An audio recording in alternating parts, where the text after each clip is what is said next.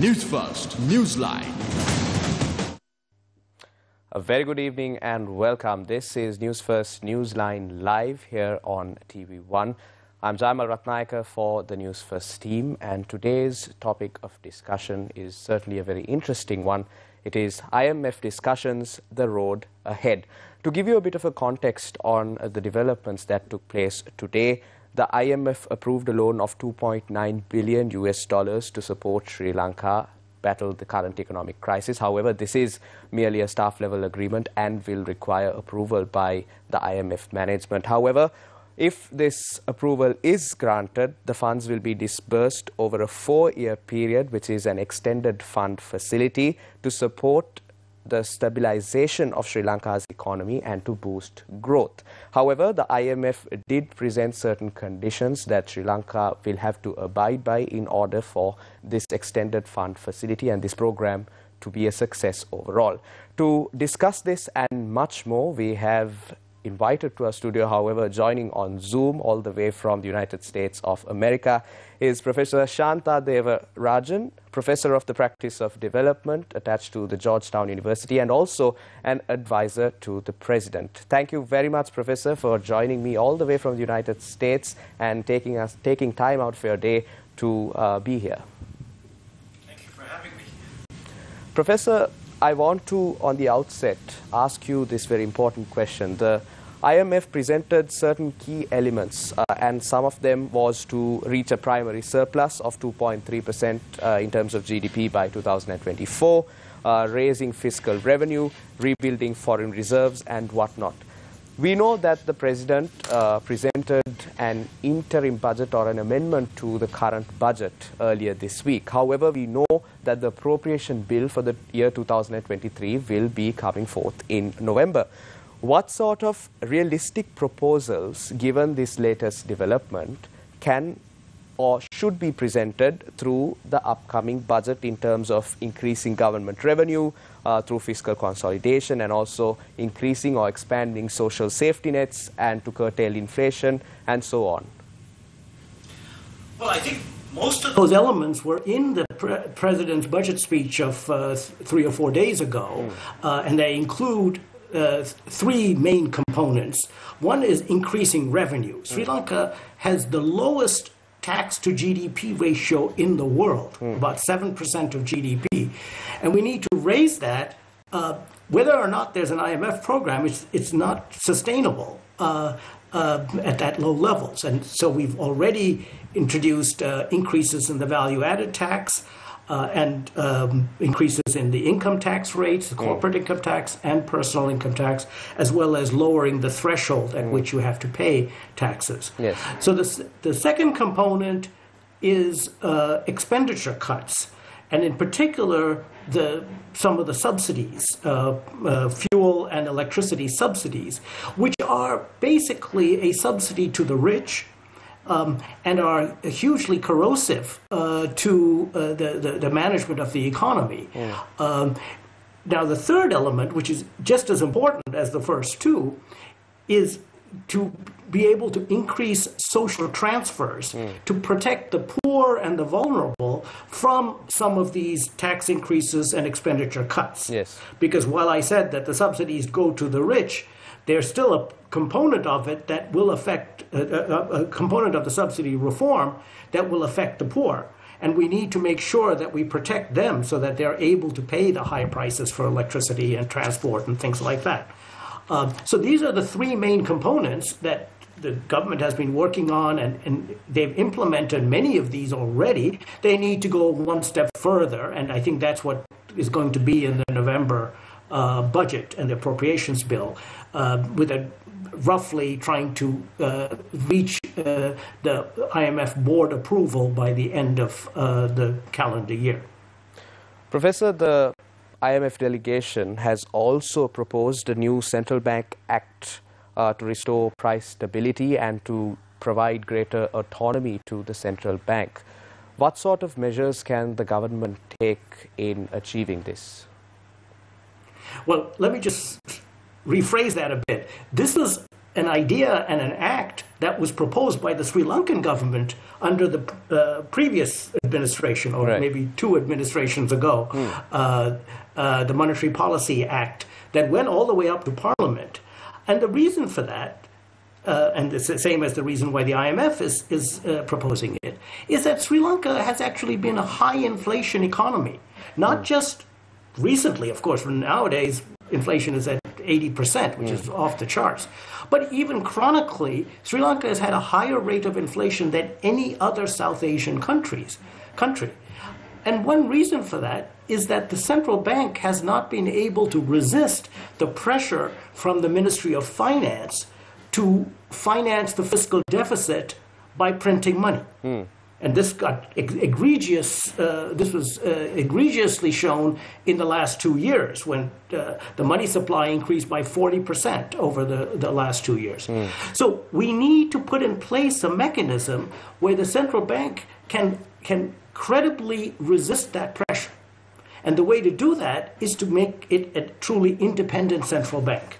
And there's international evidence that countries that have introduced central bank independence have experienced lower inflation than countries that have not.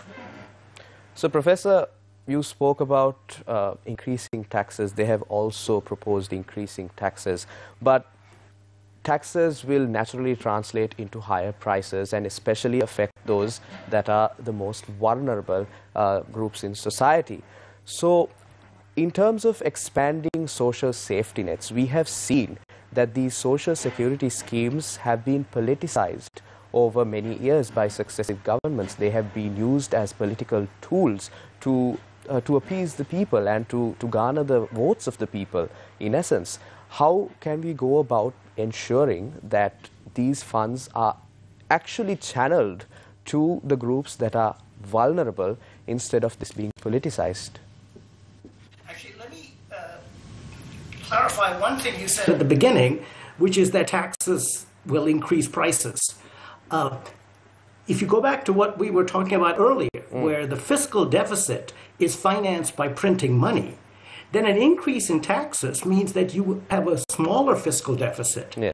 which means you have less printing of money, which means you have lower inflation. So it's not clear that increases in taxes will lead to higher prices. It could actually lower inflation. Now, that said, you're absolutely right about the social transfers. Um, the Samurdhi program has been politically captured. It is, uh, and I remember looking at some of the numbers, it's something like 30% of those, uh, only 30% of those receiving Samurdhi transfers are poor, and about 60% of the only about 60% of the poor actually receive Samurdhi transfers. Hmm. Huge errors of inclusion and exclusion in Samurdhi. And as you said, what, there's evidence that these have been politically captured in the sense that governments have, that successive governments have used them as political patronage. They make sure that the Samurdhi transfers go to uh, uh, people who vote for them and not go to people who vote for the opposition. How can we change that? Well, there are at least two things we, we've, we're proposing to do. Uh, one is to, to change the criteria that you use to determine who is eligible for, for Samurdhi transfers. Right. Uh, because often these criteria are also politicized. Um, and one thing that some of my colleagues at the Verite uh, Institute have uh, suggested is to use electricity bills. If you, you know, 99% of Sri Lankans pay, uh, have electricity uh, and pay electricity bills. If you consume less than 60 kilowatt hours of electricity per month, you actually are poor. And so you can use the amount of electricity that they're paying, that they're buying, to as a criterion for who is eligible for Samurdhi transfers and who's not. And we can show that this is a much more efficient way. This, this reduces the errors of inclusion and exclusion mm. than the current Samurdhi. The second thing is actually to make it uh, make the payments electronically. Hmm. Because one of the reasons why the Samur, there's leakage in Samurdhi is that some of these payments are paid by hand. You know, they send Physically people with envelopes yes. of cash, right? And you know, many countries, including India and Bangladesh and others, have moved on with that because that's much more prone to to, to leakage and capture. And I think we can move towards an electronic transfer of uh, the cash transfers. Speaking of uh, corruption vulnerabilities, the IMF has also put that forward as a condition on addressing corruption in, the, in Sri Lanka and uh, the overall economy as a whole. How can we go creating anti-corruption framework to ensure greater fiscal transparency because we have seen public funds being mismanaged and there are examples that have come to light of how public funds are simply wasted and not being utilized effectively. So how can this government ensure that they do not fall within that same framework uh, and introduce progressive schemes to ensure corruption does not take place moving forward? Yeah, this is a problem, and it's, it's very high priority because, again, if, if the government is uh, so short of, of money, we cannot be wasting it on, on, on corruption. Mm. And I think the, the well, what the, uh, the IMF program is uh, proposing uh, is that Sri Lanka introduce legislation that brings it up to the level of the International Convention on Anti-Corruption, and they were going to uh, do a technical assistance of a, a corruption audit uh, of the country. Yes. Now, that said, I think there's a lot more that needs to be done beyond the IMF program. This is something that Sri Lankans need to do. Mm. And, and there's a whole series of interventions, but they all have one common thread, and that is transparency. The most important thing is that the public is aware of all of this leakage of funds. Yes. So we need to introduce measures where all procurement, for instance, all procurement contracts are published, mm. uh, uh, and that everybody knows about them. Um, we need to uh, uh introduce legislation where, uh, you know, like I was just suggesting, you know, how much of the Samurdhi benefits are actually leaking. Mm. Get that information out to the public so that the public then puts pressure on the government. Mm. The, the, the, the, most powerful anti corruption tool are the people because they are the ones paying the price. Uh, but we need to empower them. We need to give them that information. We need to get that information out there mm. and, and police the way that that information is collected.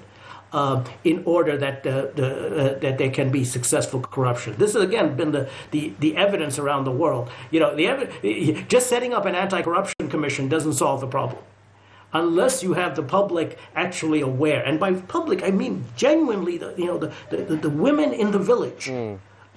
You know, they have to know that their money is being stolen. Um, and then they will, and you know, I think the Aragalaya movement was an example of that. When people are aware of that, yes. they will actually raise protests. Right. We are in conversation with Professor Shanta Devarajan, especially on the IMF front and the developments that took place. However, we must now take a look at the headlines for tonight. We will be right back. Stay tuned.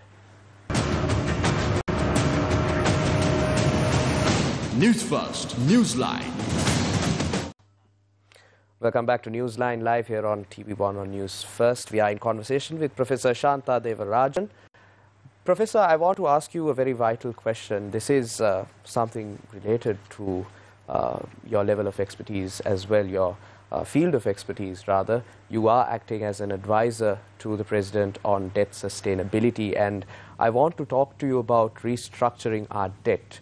There has been a lot of proposals put forward. There has been a lot of talk on getting a haircut, on how we can restructure our debt, should uh, internal debt be uh, restructured as well, and whatnot. Let's talk about our creditors and uh, private creditors per se. The IMF says that we need to bring all of them into a table and have discussions on making our debt sustainable and also restructuring our debt in order to tide over this economic crisis. What is your opinion on this, Professor? Well, I think the, the staff level agreement reached uh, this morning mm. um, is, an, is the first step towards achieving a debt restructuring because it, it signals that Sri Lanka has, has a program mm. that has been certified by the IMF to bring down the fiscal deficit and mm. turn it into a surplus uh, in such a way that then Sri Lanka is in a position to pay back some of the debt.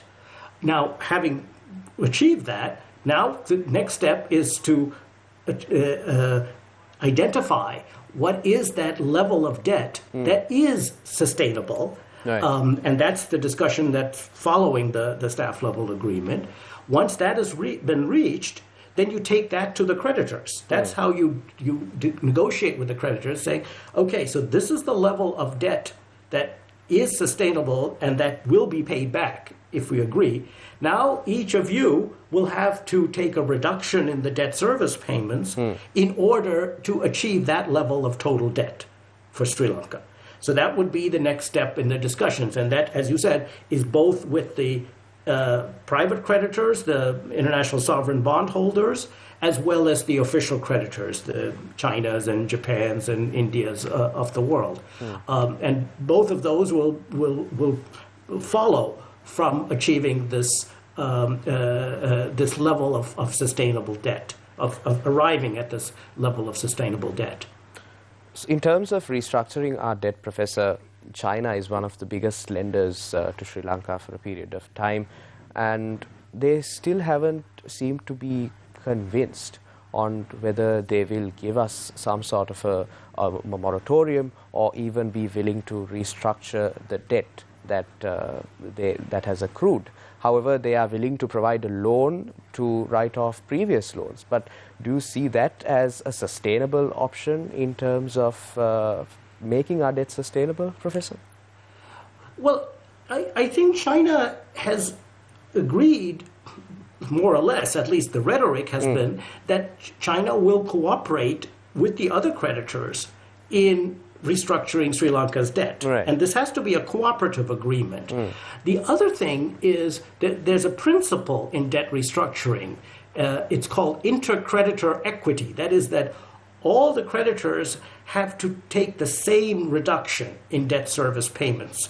Uh, so that it's not like there's a, a particular deal for China that's different from the deal with Japan or the deal with uh, India.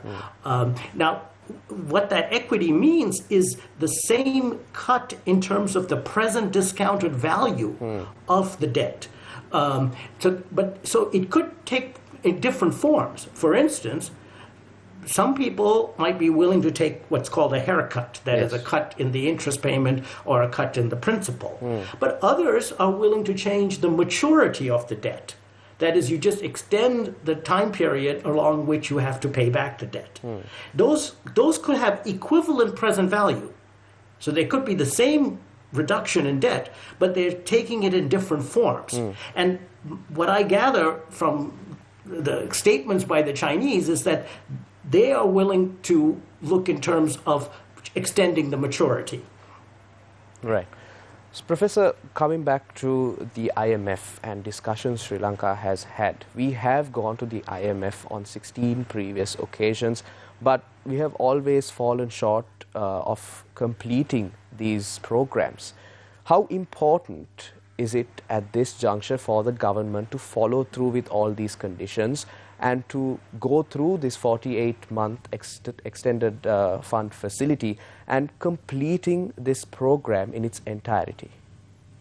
It's absolutely critical.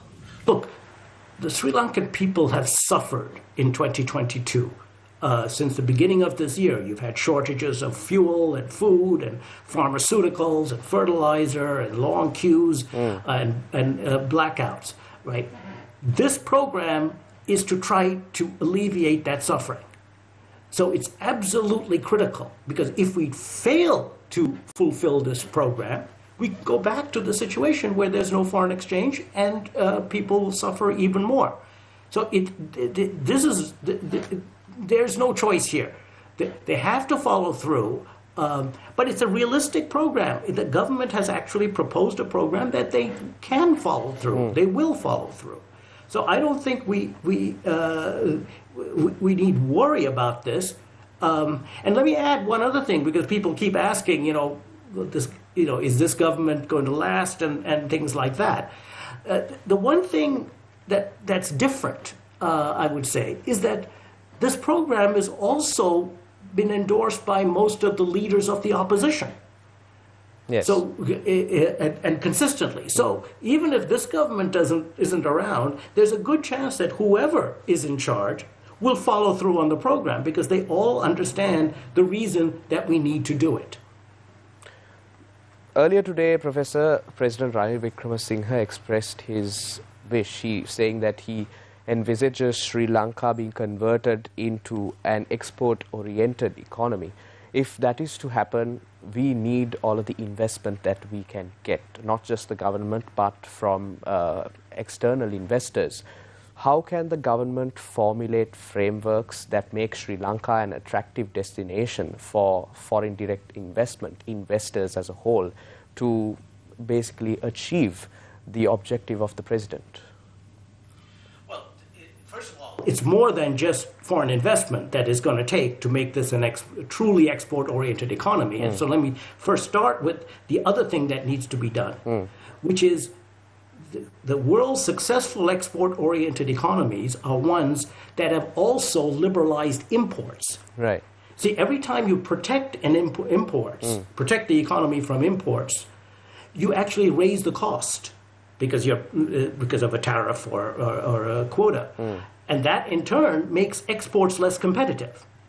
So if, by rela- relaxing, and there are still lots of para tariffs in the Sri Lankan economy. Mm. So the first step in having an export-oriented economy is to liberalize imports, allow imports to come in duty-free um, and without without restrictions. Now the second, as you said, is that you need foreign investment, mm. and again there, the thing that foreign investors want is stability. That's what scares them about Sri Lanka at the moment mm. is the instability, for the macroeconomic instability, and then associated with that, some mm. political instability. Yes. It's not low taxes. I mean, we, I think Sri Lanka has, has been misguided in thinking that if you allow people to come in tax free, and there are lots of foreign investors, including Colombo Port and mm. all of those others, that are enjoying tax holidays, mm that doesn't necessarily attract foreign investors. Hmm. You, you do surveys of foreign investors around the world. Uh, they, they don't say, you know, the only thing that I, that, that I need is zero taxes. They want stability. And indeed, it's, it's the other way around because by charging taxes, and I think they should tax foreign investors. And I think the plan in, in, in the, in the budget speech was announced that, that uh, there will be no more exemptions for foreign investors on corporate income taxes. That way, you actually generate revenue, mm. and that increase, increases the fiscal stability of the economy. So you can actually attract more foreign investors by having a very clean, no exemptions tax regime that actually raises positive taxes. And I give you an example of, of Ireland in the European Union. I mean, Ireland has a very low but uniform tax rate for everybody with no exemptions. Right. And they get more foreign investment than, say, Germany. Okay. Uh, unfortunately, we are coming into the close of the program. However, I must ask you, Professor, on how Sri Lanka can consolidate its foreign reserves once more. Because in 2019, uh, we know that Sri Lanka had almost 7 billion US dollars in reserves. However, that depleted over time, and now we are the coffers are empty. We are scraping the barrel, and we need to ensure that we have sufficient foreign reserves. How can we go about ensuring that our foreign reserves are increased over time? Well, I think this whole program that we've been talking about, mm. that is the, the IMF program, will will generate uh, foreign exchange, mm. some of which can then go into reserves. Yes. Uh, you know, we, the estimate is uh, uh, three billion, two point nine billion dollars from the IMF. Mm. That will also release about um, one and a half to two billion dollars from the World Bank and the ADB and, and others, mm. all of which will bring in foreign exchange. And then eventually, when Sri Lanka is able to re-enter international capital markets as countries that have done debt restructurings have been able to do in about 12 to 18 months, then you can start borrowing uh, in, in capital markets. Right. The, the key, though, is to manage those reserves and use them genuinely as reserves. Mm. The mistake made two years ago was they used the reserves to pay back foreign debt. That's not a use of reserves. You use reserves as a cushion right. for when you have when you have an, a, a, an exogenous shock um, and also to maintain credibility of the exchange rate. Right. Tonight we were in conversation with Professor Shanta Devarajan, Professor of the Practice of Development at Georgetown University, all the way from the United States. Thank you very much, uh, Professor, for taking time out for your day and uh, enlightening me as well as our viewers on what the road ahead is for Sri Lanka in terms of the latest developments that were made today uh, regarding the International Monetary Fund and the extended fund facility. Thank you very much, Professor, for joining me this evening. Thank you for having me. Yes, it was a pleasure. And with that, we must now cross over for primetime news on TV1. And as always, take care and good night.